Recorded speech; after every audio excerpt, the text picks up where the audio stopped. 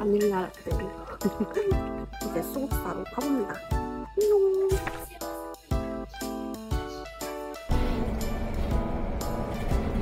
저희는 지금 오늘 템플스테이를 하러 수국사 근처에 있는 버스 정류장에 내려서 가고 있는데 가는 길에 이제 플로깅을 하면서 가보려고 합니다.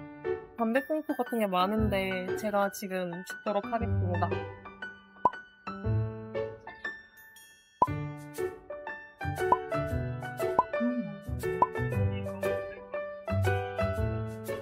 벌써 이만큼이나 모았습니다.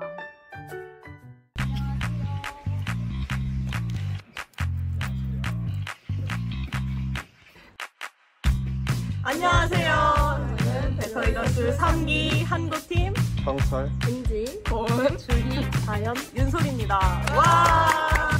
여러분, 저희 지금 어디에 있죠? 수국사예요. 맞아요. 바로 수국사에 왔습니다. 그 이유는 오늘의 영상 주제가 바로 ESG, 나들이이기 때문인데요. 저희가 평소에 여행을 할 때 일회용품을 자연스럽게 사용하게 되는데 오늘은 일회용품 없이 자연 친화적인 여행도 어마어마한 매력이 있다는 걸 보여드리기 위해 저희가 직접 템플스테이를 하러 왔습니다. 기대돼요. 저도요. 저희가 지금 옷을 갈아입으러 가야 돼요. 그래서 후딱 옷을 갈아입고 오겠습니다. 자, 이제 템플스테이 하러 들어가 볼까요? 가봅시다.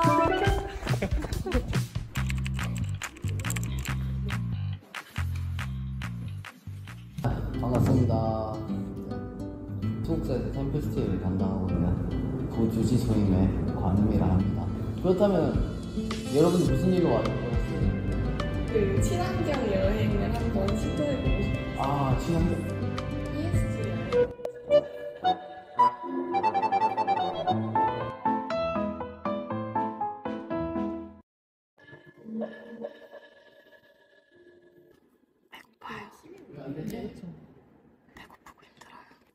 머릿속에 남는 멘트들이 있던가요? 쉴때 낭비하지 않은 것이 있었나 되돌아보라는 멘트가 기억에 남았어 네. 그럼 그 뜻은 무심코 낭비하는 것이 있다는 소리. 평소에 일회용품이나 이런 거 쓰는 게 있으니까 그렇다면 어떻게 바뀌어 나가요? 집에서 먹는데도 일회용품 맨날 시키고 하는데 그런 것들 최대한 안 쓰고 재활용할 수 있는 거 기본적으로 집에 있는 걸로 사용하면서 그러면 좀 더 좋지 않을까 생각이 본인 스스로 다시 되돌아보고 그것을 발전시켜 나가는 그런 모습 아주 훌륭한 모습이죠.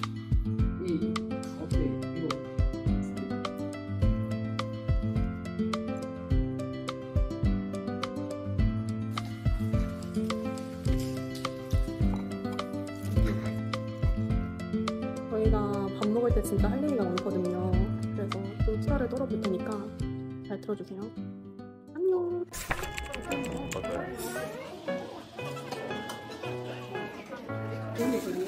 저희 메뉴는 야채 비빔밥과 미역국입니다.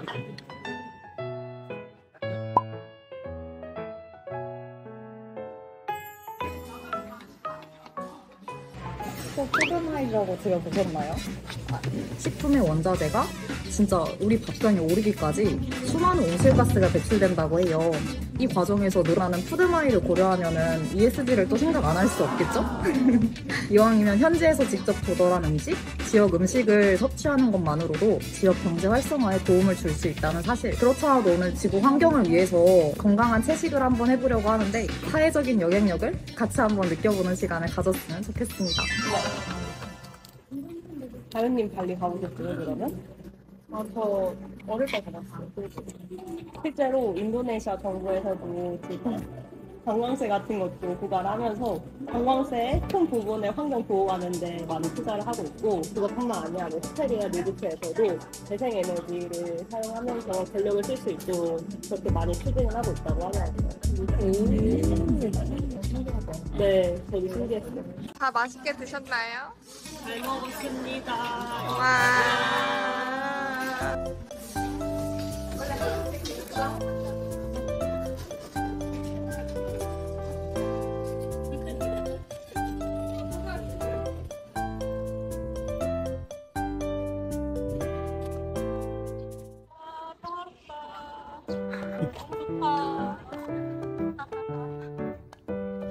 다현님 오늘 다현님께서 좋아하시는 고기가 메뉴에 없었는데 괜찮았나요? 근데 채식도 비빔밥을 해서 먹으니까 되게 네. 맛있었어요. 음, 저도 맛있게 먹었습니다. 밥을 먹고 왔고요. 앤소니 텀블러에 제가 커피를 사왔는데 커피를 마셔보도록 하겠습니다. 맛있겠다. 바닐라 라떼거든요. 이게 뭐죠? 아 이거 보여주는 건가요? 네. 이게 뭐죠? 써요. 운동하면서 진짜요? 거기 헬스장에 그게 없거든요. 종이컵을 안 써요. 어? 그래서 다 텀블러 가져와요. 여러분 이런 헬스장 다니셔야 돼요. 완전 ESG 헬스장 아니에요? 전기 코드도 있을 건데. 저희는 이 배터리가 있어서 괜찮습니다. 아 요즘 좀 그런 거 많이 쓰세요? 전기가? 맞아요. 근데 이게 되게 작은데 충전도 빠르고 좋아요. 옛날에 많이 썼잖아요. 아니요. 이- 요즘은 LG 에너지 솔루션. LG 에너지 솔루션. 템플스테이도 LG에너지 솔루션과 함께합니다.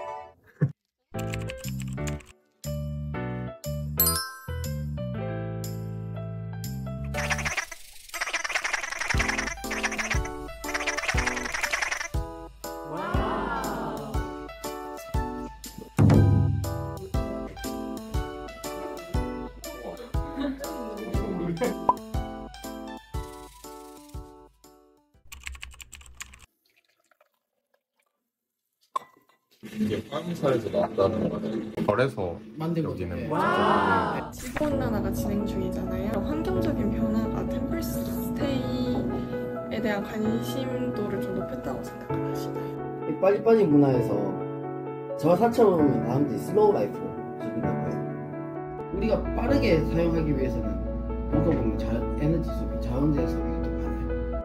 일회용품 쓰는 거 생각해보세요. 치울 때 얼마나 빨라요? 싹 쓸어서 버려볼 것이죠. 본인들 밥 드신 거 본인들 씻으셨죠? 네. 남김없이 다 먹고 싶어. 본인이 먹고 싶은 만큼 덜. 그래서 그쪽으로 관심을 가지신 분들이 생긴 것 같아요.